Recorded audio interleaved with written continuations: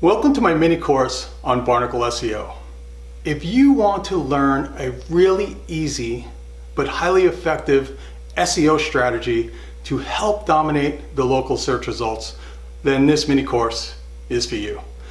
In this course, we're going to learn what Barnacle SEO is, how it's used, how to optimize it, and how to dominate the local search results beyond just your website and Google My Business listing.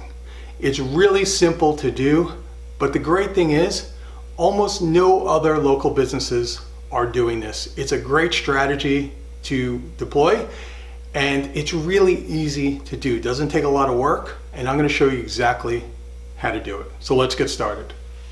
So what is Barnacle SEO? Well, to answer that question, let's first define what a barnacle is. A barnacle is a marine creature, a parasitic marine creature that attaches itself to a larger host. But unlike most parasitic creatures, in most cases it's not harmful to the larger host. Actually, most, most of the times larger sea creatures don't even realize there's barnacles living on it because it doesn't interfere with the way they live and feed. Barnacle SEO is a search engine optimization strategy where you as your business attach yourself to other larger third-party websites. And some of these websites would be review sites where your business is listed. It could be directories where you have a page or you have a listing on a directory. It could be blog posts or other kind of websites where people are talking about your business. So Barnacle SEO is instead of doing search engine optimization on your website or your Google My Business listing, it's doing search engine optimization on third party websites that you don't own or control. So the question is, why would you want to do that? So we're going to answer that in the next video. So now that we know what Barnacle SEO is, why would we want to spend our time, money, and resources optimizing somebody else's website? Well, there's a couple really good reasons why you should consider it. And the first one is these sites may be outranking your website for some very important search terms. It's no secret that Google tends to favor larger brands, larger websites with lots of links, high domain authority. It's relatively easy for these sites to outrank, you know, local businesses, you know, local web properties that don't have the resources to optimize their site like they can. So instead of trying to fight them, why not, you know, find out which ones are ranking really well find your listing on that site and then work on doing SEO for that listing. So if somebody searches for that important search term, you may not be able to get your website ranked, but you may be able to get your listing on this larger directory site or review site to show up at the top of the search engine results instead. Also, these sites may be more, may be very important for your business. Maybe you have some uh, critical review sites where you have some really good reviews and you want to highlight them so optimizing your listing on these review sites may help that listing page get shown in uh, Google search results you know higher and more frequently. So if somebody's searching for you know uh, the best lawn care service in my city or the best real estate agents in my city you have a chance of getting that review listing showing up high in the search results even if your website can't do it. And number three you may want to dominate the search results beyond your website and Google My Business listing. Now, a typical Google search engine result is going to have 10 organic listings, uh, anywhere from three to maybe five Google My Business listings, and somewhere between two and five different you know, advertising ads on the page. So there's a lot of links on that page. And even if you're doing really good SEO, that still only gives you two properties, your website and your Google My Business listing. But what if you really want to dominate those search results? When somebody searches for, you know, uh, plumbers, you know, in my city or, you know, financial planners in my city, you know, wouldn't it be great if you had four or five or six listings showing up on the first page of Google? And that is a very great strategy to use with Barnacle SEO. So it's optimizing sites and pages where you have a presence that you don't own and trying to get those in the search results. As a bonus to this, if you really want to dominate the search results, consider doing Google AdWords. You can get an additional listing that's relatively easy. You are going to pay for it, but it gives you that extra, that third listing in the search results. And if you want to go even further, think about doing YouTube videos related to that search term topic, even optimizing images for that topic can give you additional inclusions into that first page of the Google search results. Okay, so these are some reasons why you would do it. In the next video, we're going to talk about things you can do to help optimize these listings. So what can we do to help optimize these third-party pages so they can rank higher in the search engine results and get us more visibility for our business? Well, the first thing is if it's a review site or if it's a directory listing, you want to make sure that you've claimed that listing, you have login access so you can go in and you can update that information. You want to make sure that the information is complete, it's fully updated, all the information they asked for, you gave it to them, you've uploaded pictures, video, whatever it is that you fully completed that profile. That's a starter. If it's something where you can go in periodically and updated as well with new video, new pictures, uh, even reviews, things like that, that's even better. Because the way Google works is when they crawl a web page, if nothing changes, and you know, and they go check it four or five times, what's going to happen is they're going to start to crawl that page less frequently because nothing's changing on it. But if they go to that page and you've added new pictures, you added a new video, you've updated the information, things like that, then Google understands that that page is being updated, so they should come back more frequently to see what's going on, and that's what you want to accomplish with this. So make sure you get access to these listings, these directory listings, and that you update the information, make sure it's full, make sure it's complete, and periodically add more and updated information. Number two, you can link to these listing pages or these third-party pages from your website and also from your Google My Business listing. Okay, so if you have a, third party site where you have positive reviews there, link to them from your website. You're giving, you know, you're giving your authority back to that web page, you know, where you have a listing, and that's going to help boost that listing higher up in the search engine results because now it has links pointing back to it. Another situation where you would want to promote a web page is a local magazine, a local blog, maybe did some sort of list where they named, you know, the five best real estate agents in my city, five best restaurants in my city, whatever it is for your industry. That may be something you want to highlight. If you're at the top of that list, that's a great time to link to it from your website. You can do a post in Google My Business. They have the post feature. You can do a blurb about it, how you've been mentioned in this online magazine, and you can link to that listing. And all of these links going back to that web page is going to get send clear signals to Google that this page, you know, is important. It has links going to it, and they should consider, you know, moving it up higher in the search engine results.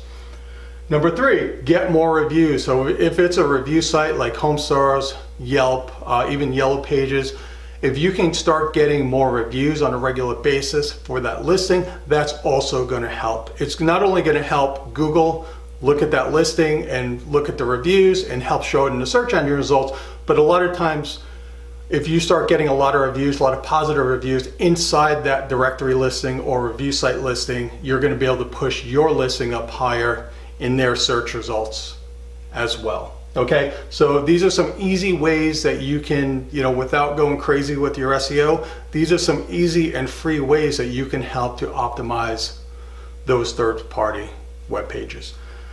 What you want to do is you want to find sites that rank for two things. You want to find sites that rank for important search terms for your business. So if you're, say, you know, a financial planner and somebody types in financial planners near me or financial planners in Charlotte or financial planners in Denver, whatever the case may be, if you find the top of the search results are, you know, uh, you're getting, you know, Yelp listings and you're getting other larger directory listings that are starting to pop up on there, that's where you want to go to those sites and you want to you know, find where your listing is and you really want to start to optimize it because clearly Google's giving a preference for that larger website. So if you can optimize your page on that site, that can help you get more visibility. The other thing is for search terms for your business. So if somebody searches for your business, they're looking for you online, what shows up in addition to your website and your Google My Business listing, and you want to review those things. So what we're going to do in the next video, we're going to jump in and we're going to take a look at how we can find all this information so you know exactly what third-party web, web pages are important for your business so you can go in and start to optimize them. So let's take a look at the Google search results so I can give you a visual of what we're talking about when it comes to Barnacle SEO.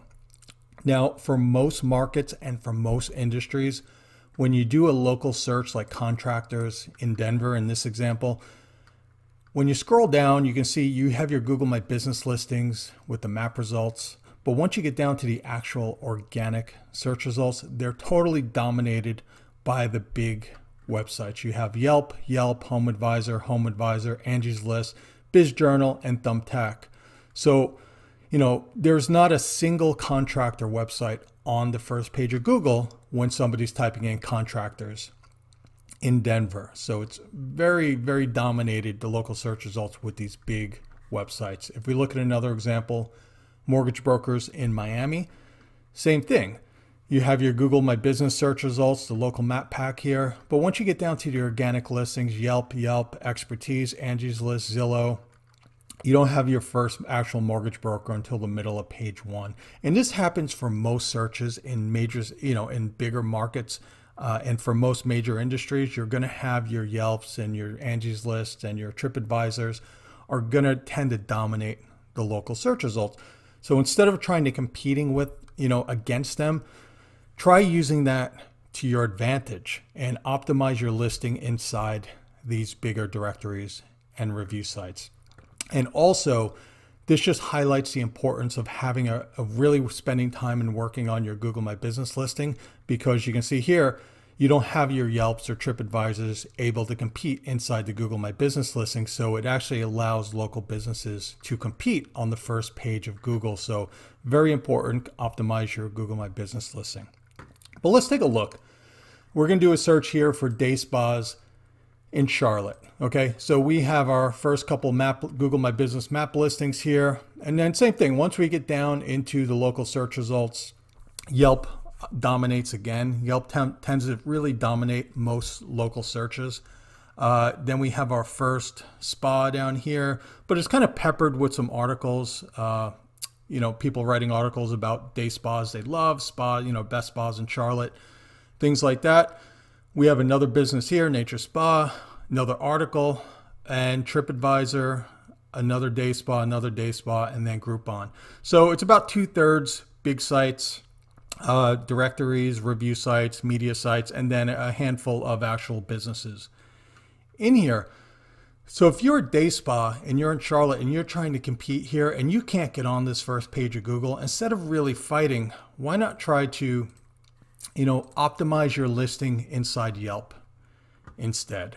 You know, here we have a couple advertisements from Yelp, but here we get to our actual organic search results. And here we have, you know, uh, toe care, we have nature spa, and you can see here the listing. This might be the easier way for you to get to the top of the Google search results is by optimizing your listing inside Yelp and trying to get on this first page, ideally in the top in the top three to five listings on here. And that might be an easier path for you to get to, you know, to get to the top of Google instead of trying to fight all of these, you know, all of these other websites.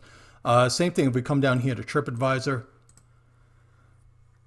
you know, maybe your, you know, if your spa is not listed on here, then that might be a good opportunity for you. Because you can even see here there's not many reviews you know besides the spa Ballantyne once you even get to number two number three number four there's only a handful of reviews. So TripAdvisor might be a great opportunity for you to really work on optimizing your, your listing uh, getting more reviews making sure it's filled out completely and trying to push that at the top so at the very least if somebody looks for the best spas on TripAdvisor they're going to find your business on there. Okay. So let's go back and you can see here, there's a couple articles as well. And these are other great opportunities for Barnacle SEO. So if you're lucky enough to get listed in one of these blogs or one of these local media sites that are listing the best spas in Charlotte, then that's a great opportunity for you to help promote and help get better rankings for this article by linking to it from your website, sharing it on social media, help this page get more traction. Because when people get to this page, number one, it's a third party it's a third party that is giving you that endorsement. So it works better than actually having it on your own site and you know since you're listed you know on this on this page for the best day spas in charlotte you're going to get traffic. People tend to trust these third party articles. So, another opportunity for you to do local SEO. Uh, and you see here, there are a couple organic ones. You have the Bots Ballantyne Spa at Ballantyne, which tends to be the dominant one in Charlotte. Uh, Nature Spa is also a good one on here. Uh, but let's take a look at an example of a specific business. So let's pull out Nature Spa in Charlotte. They're a day spa.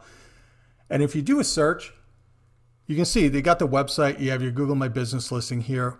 And then you have your Yelp listing. You have your Facebook listing, TripAdvisor, Groupon, Birdeye, Joy Spa. So tons of different review sites. And you can see here they tend to have pretty good reviews. One thing you might have noticed we're going to jump back to that page in a second. This is their TripAdvisor page on here. You see, they only have three reviews here. They're three five-star reviews, so that's fantastic. But if we go back to the day spa search, and we have TripAdvisor on page one here.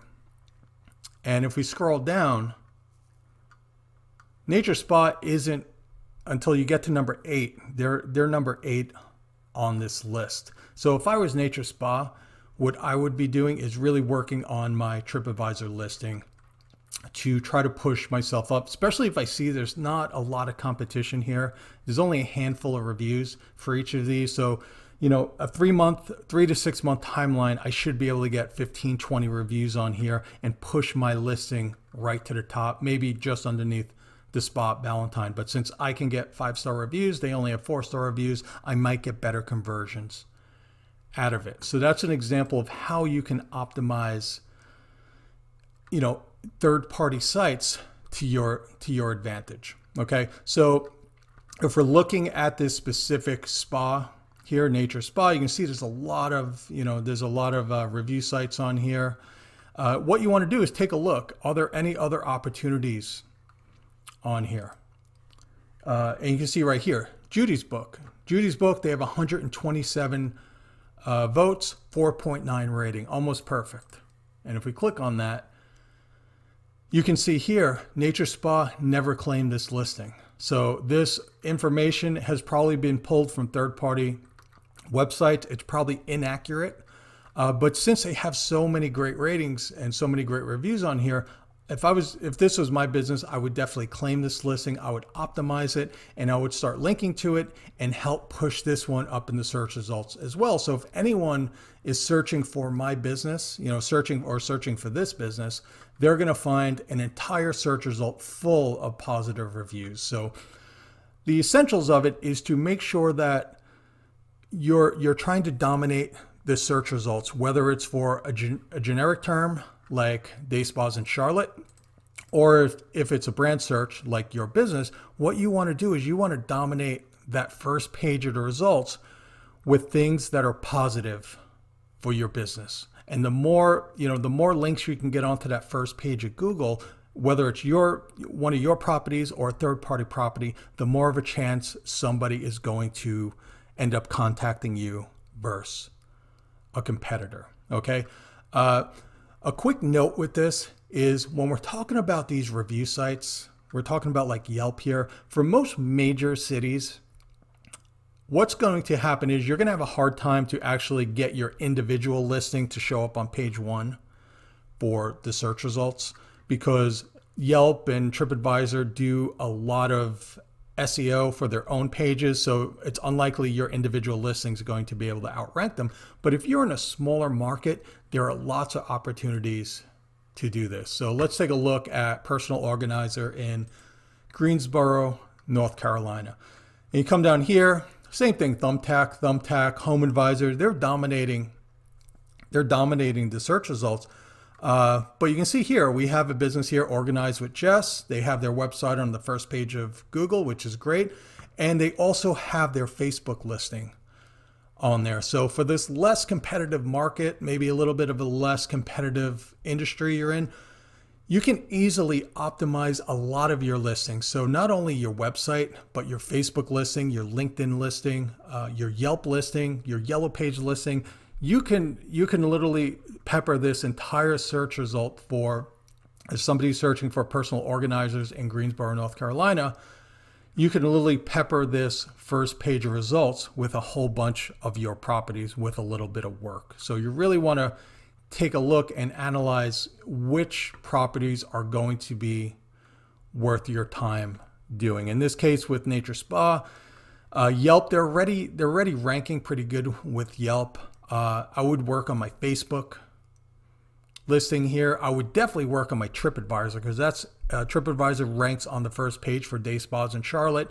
And with a little bit of work, you can easily be at the top of that, you know, TripAdvisor list for the best spas in Charlotte. So you really want to take at the take a look at the search results for, you know, general terms that are important to your business. So if you're a plumber, it would be plumbers in Charlotte or dentists in Charlotte. And you also want to look at your brand searches and you want to see what sites are showing up here and which ones aren't. So take a look at page two, take a look at page three. Do you have any good properties, any good articles about your business that are really good that aren't getting the visibility that they should be getting? And you can use your website, you can use your Google My Business listing, link to these articles, promote them on your site, and that'll help give these third party articles some new life. Okay. The last thing I want to show you is dominating the search results in general. So when it comes to local SEO, really the the holy grail of local SEO is on the first page of Google is to basically dominate the entire first page of Google. Okay. And I'm going to give you an example of a business that's doing a really good job with this. Uh, so if you type in physiotherapy in Newmarket, that's a suburb of Toronto up in Canada, you'll see here we have an ad from Spectrum Physiotherapy. So they're number two right here with an ad. They're number one with their Google My Business listing. Okay. We have the first page of Yelp results.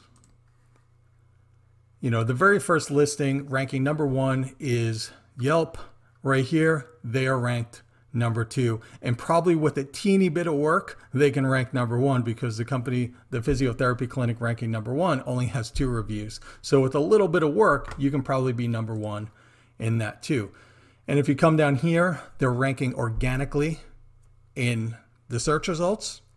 And if we scroll down a little bit more, they actually have their Facebook page ranking on the first page of Google as well if you type in physiotherapy in Newmarket. So that's one, we got one, we got two, we got three, we got four, we got five. So if Spectrum Physiotherapy is showing at the top for five different URLs, five different places where people can find them on the first page of Google for their main for their main search term, which is physiotherapy in new Newmarket. So if you're only working on your own properties, you're only going to have your Google My Business listing and your website to rank. But if you add in some advertising, even if you do some limited advertising and you're only focusing on, you know, a handful of popular search terms, and you're also working on some of your third party properties like your Facebook page, your LinkedIn profile, your LinkedIn company page, uh, other third party directories, Yelp listings, things like that. If you really work on these,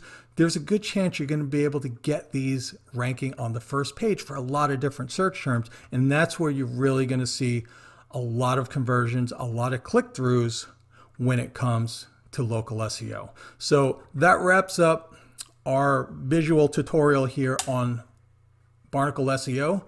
But what you need to do next is Make a list of your popular search terms that people look for for your business and start going through the search results. See what big websites continually show up. So in this case, it's Yelp, uh, it's TripAdvisor. Start writing those down and then look inside those listings and see how you rank inside those listings. And if you need to add more reviews, you need to optimize your listing, you need to update it more frequently, figure out what you need to do. And then what you want to do is link to these third party listings, these third party websites from your own website to give them even more links, more credibility, and help to push these listings up even more. So now you know what Barnacle SEO is, how it works, how to optimize these third party listings, and how to find exactly what listings you should be optimizing that are important for your business. So your job now is to go out, start identifying these third party web pages and start to optimize them. If you can do that, then you can really start to dominate the local search results.